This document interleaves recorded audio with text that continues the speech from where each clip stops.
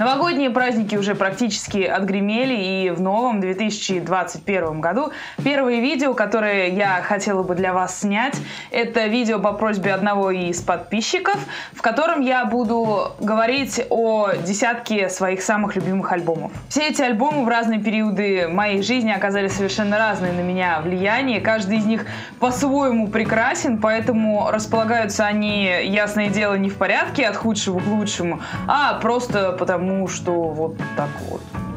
Начать я хочу с альбома группы Tribulation Children of the Night.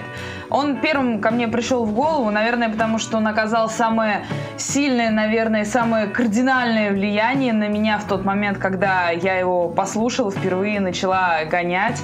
Долгое время я его даже не скачивала, просто гоняла в интернете, но он настолько легкий и воздушный, но при этом очень странно получилось то, что он зашел ко мне в голову тогда, когда я слушала вещи вплоть до Brutal Death, типа Suffocation. Это именно тот альбом, который развернул мой вектор с утяжеления и ускорения на музыкальность и мелодичность. Сам по себе этот альбом номинально представляет из себя типа как Симфа Black, но когда я увидела это в тегах, э, приписанных к этому этому альбому, найдя его в интернете, естественно, то я очень удивилась, потому что в нем на самом деле очень сильно прослеживается влияние готики, именно готик-рока. Недаром на этой пластинке, на ее расширенном издании, впервые в качестве бонус-трека появляется кавер на группу Cure, песня 100 Years от группы Tribulation.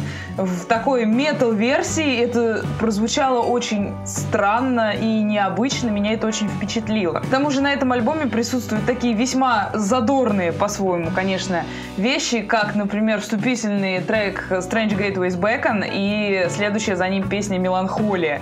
Все они очень атмосферные атмосферные и э, умудряются, будучи даже энергичными, все равно быть пронизанными ноткой такой, знаете, запредельной космической тоски и грусти. При этом не какой-то упаднической, а, ну, меланхолии, одним словом. После того, как я ознакомилась с текстами песен, которые присутствуют на этом альбоме, у меня возникло стойкое ощущение лавкрафтовщины. Хотя ни имени самого Говарда, ни каких-то древних богов и ни, не дай боже, Ктулху там, естественно, не упоминается. Просто сама атмосфера космической такой межзвездной жути, особенно ближе к концу альбома, прям проникает через эти прекрасные ноты в мозги слушателям. Следующий альбом, о котором я вам расскажу, это альбом группы Coroner No More Color. Почему именно этот альбом? А, хотя все вообще-то котируют Punishment for Decadence, который был предыдущим. Этот альбом, он э, в рамках всего творчества группы Coroner э, показался мне таким переходным моментом между просто таким мелодичным, техничным трошаком с гармоническим минорчиком и все такое, э, к вещам уже со сложными размерами, которые присутствуют в Mental Vortex в большей мере. Ну и так далее. Мы все знаем, чем закончился творческий путь группы Коронер и какую странную музыку они стали делать ближе к его концу. Но альбом Нома Кала, он как бы демонстрирует прям самые-самые зачаточки вот этой самой странной музыки, которая очень удачно сплетается с technical трэшем, который группа Коронер демонстрировала нам до этого момента. Шведы, они в принципе люди довольно-таки странненькие, и сколько бы я ни слушала шведской музыки, вся она представляет из себя какую-то оригинальность, какую-то специфичность. Предыдущая группа Tribulation, если я не ошибаюсь, они тоже из Швеции, кстати говоря. Наверное, поэтому и пришло в голову смешать э, black metal и готик рок. Таким образом, альбом No Макала, он как бы развернул мои музыкальные вкусы от кроссовер трэша, от ускорения, от э, более злой музыки к техничным каким-то вещам. Ну и, естественно, показал мне, чтобы не возникало в фантазии музыканта, оно всегда найдет своих слушателей. Следующий выбор, так скажем, довольно-таки очевидный. Вы бы, наверное, очень удивились, если бы этого альбома не присутствовало в данном списке.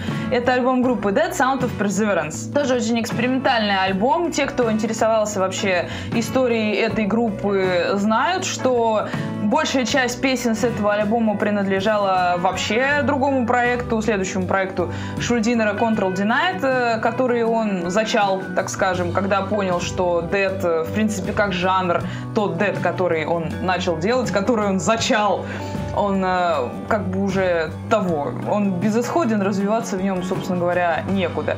Он начал делать какие-то экспериментальные больше вещи, но лейбл принудил Чака Шульдинера выпустить еще один альбом, пригрозив тем, что иначе с Control Denied не будет подписан контракт. Ну и был состряпан альбом Sounds of Perseverance таким образом. Треки, которые на нем присутствуют, это смесь даже не с блюзом, хотя может показаться моментами, это вообще что-то с чем-то. Как вообще два человека, если говорить о концертных, к примеру, выступлениях, могут играть, казалось бы, независимые друг от друга партии, ну или практически независимые, но при этом попадать друг в друга?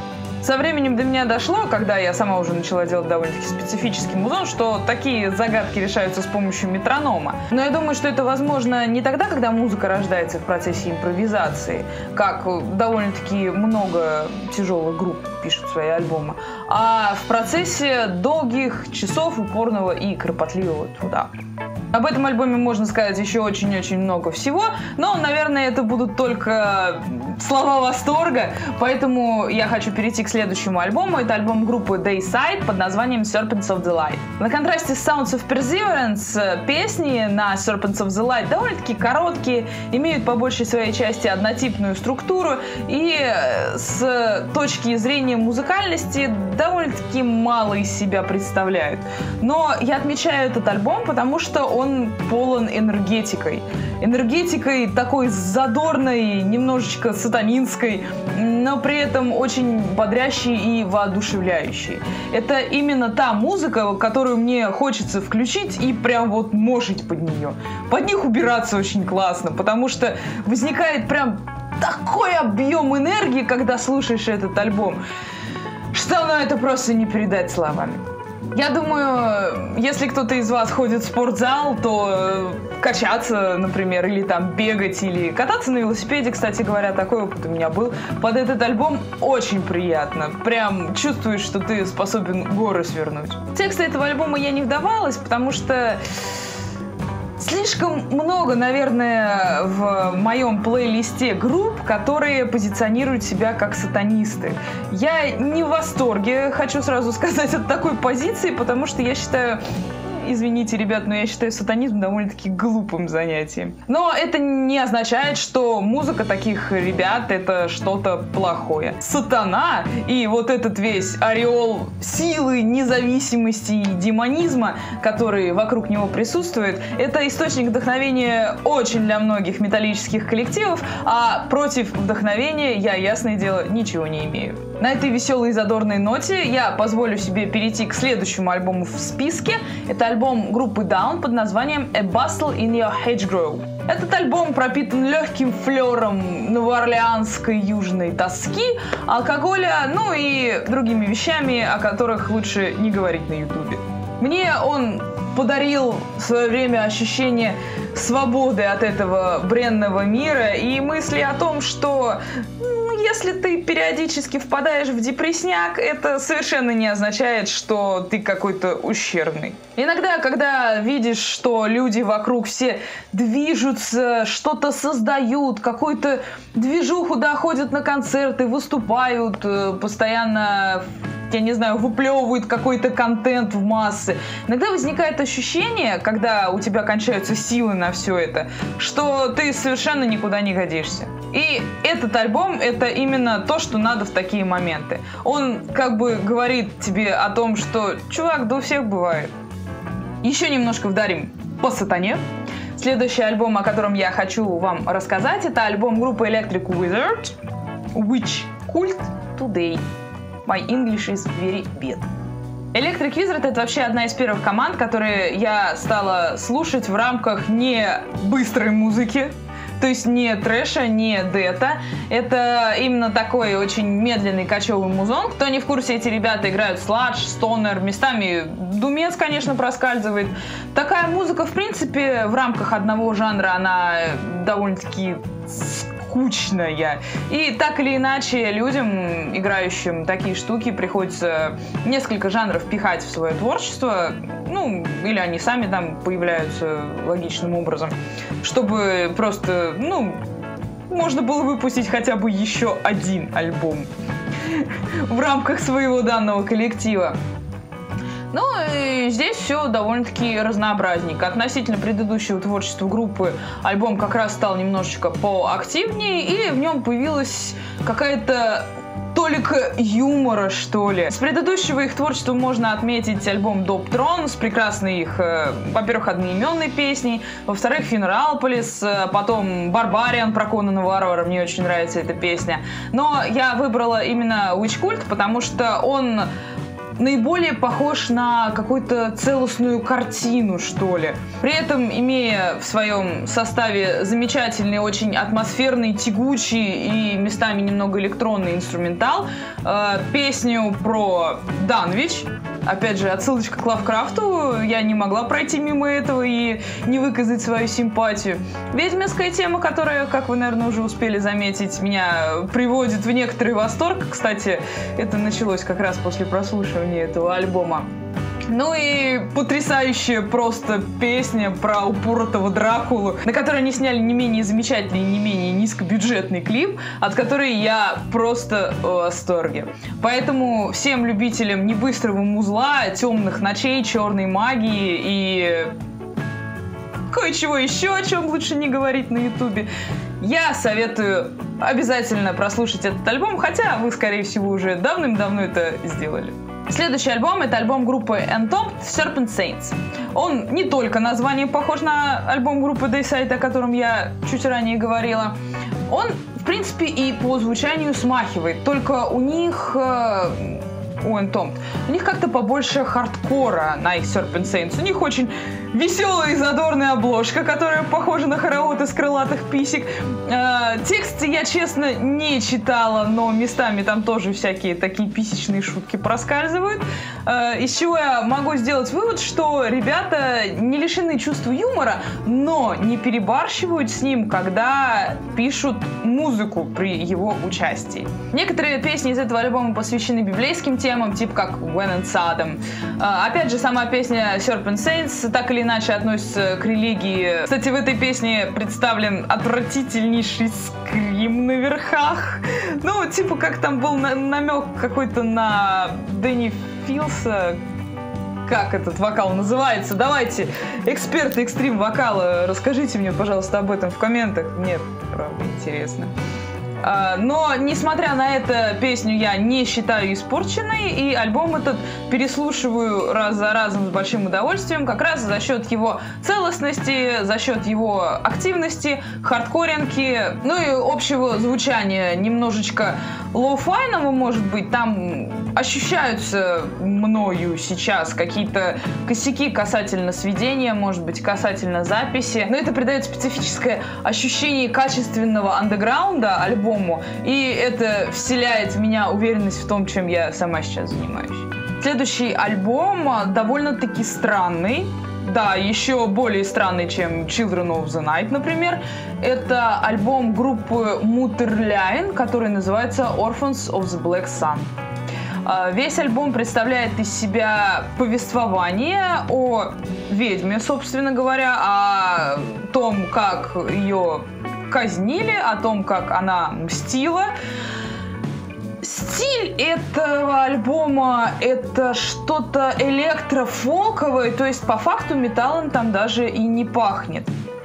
Но там опять же присутствует в первую очередь ведьминская атмосфера, во вторую очередь очень интересный и очень специфический женский вокал.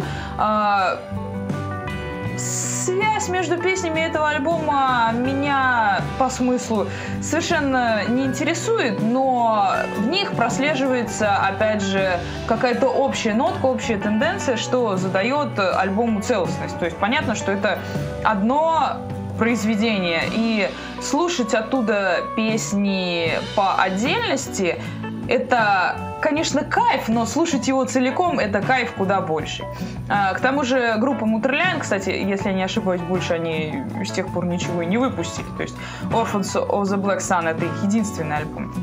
Так вот, группа Мутерляйн э, сняла клип такой на каждую из этих песен, то есть получается у них есть такой мини-мюзикл, что ли, который тоже по-своему интересен. Там практически ни хрена не понятно, потому что все очень темно и относительно однообразно. Естественно, вам там никто не станет прям буквами писать на экране, что там сейчас вот происходит, поэтому понимайте, как хотите. Но его, этот альбом и видеоряд который ему принадлежит, можно записать э, в такой в разряд абстрактного темного искусства. Далее я хотела бы немножечко рассказать об альбоме группы Воевод под названием «Негатрон». Он для меня интересен тем, что это по факту классический трэш, э, в который добавлено очень много электронной музыки. Я точно не скажу, как э, называется жанр музыки этой самой электронной, который туда был добавлен, но трэша от этого в альбоме точно не стало меньше. Весь альбом представляет из себя движение, устремление вперед, накручивание постоянно скорости, накручивание напряжения, и электронная музыка только этому способствует. На мой взгляд, он очень похож на музыку группы Nine Inch Nails, хоть я немного, в принципе, их слушала, но какое-то впечатление у меня сложилось. И даже вокал в какие-то моменты напоминает вокал Трента Резнера. Сейчас творчество группы «Воевод» представляет из себя уже мега абстрактные какие-то мега странные вещи, которые даже мне, любителю подобных странных штук, честно говоря, не заходят. Но э, альбом Негатрон, на мой взгляд, это как раз самое то, самая мякотка, такая прям серединка между трэшем и хрен пойми чем. А, да, где-то там между Негатроном и хрен пойми чем еще было немножечко стонера, об этом тоже не стоит забывать. Вообще здорово, когда команда позволяет себе выходить за рамки жанра, позволяет себе творить все, что угодно, типа, ну, мы здесь проездом, Поэтому я люблю группы, не связанные контрактами, которым лейбл не может диктовать как таковую свою волю. Ну или они просто понимают, что из себя представляет музыка и почему не стоит поддаваться на чьи-либо уговоры. При создании ее на чьи-либо советы типа умных людей полагаться. Потому что когда начинаешь подстраиваться под кого-то, как правило, ты теряешь э, саму суть своего музла, само самовыражение и превращаешься просто в ремесленника. Ну и последний, самый прекрасный альбом, в котором вот вообще все прекрасно. Это альбом Elders of Madness группы Morbid Angel. Он пропитан лавкрафтовщиной, во-первых, без этого никуда. Во-вторых, это death metal, и при том death metal довольно-таки быстрый. То есть э, создавался этот альбом в период прото Дета, то есть помеси как бы Дета с трэшем довольно-таки специфической.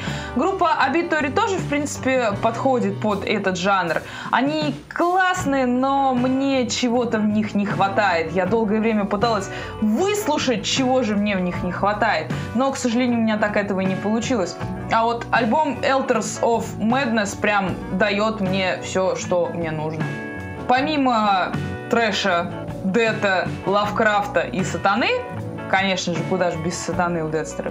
Здесь присутствуют какие-то вообще безумные непонятные соло. Помимо того, чтобы запомнить такое обилие нот, которое, казалось бы, не поддается логике, это же еще как-то нужно все и написать. Потому что там присутствует очень интенсивная работа машинкой, работа рычагом, э, где вообще десятой доли миллиметра вправо, десятая доля миллиметра влево, это расстрел. Это все, это не та нота, а это значит лажа. Буквально, если там отклонение на какую-то четверть тона, то в рамках настолько атональной музыки, возможно, это и проканает.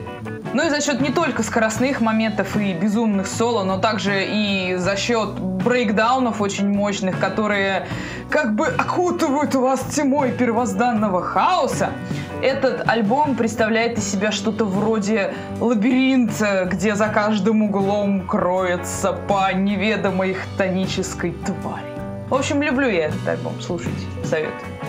Не судите меня строго, но я забыла рассказать про одну обалденнейшую формацию под названием Аспид. Пусть это будет такой одиннадцатый бонус-альбом. В общем, это группа то ли советского, то ли постсоветского пространства, к сожалению, я вам сейчас так прям вот не скажу. А, в общем, а, чуваки где-то в годах в 90-х в начале играли техникал трэш, и это просто разрывательно. Особенно если учесть, что делали они его на русском языке. К сожалению, у них всего один альбом, он называется Extravasation, и прям любому фанату трэш, дэт метал, да и просто металла я очень советую послушать этот альбом, потому что, ну, это must.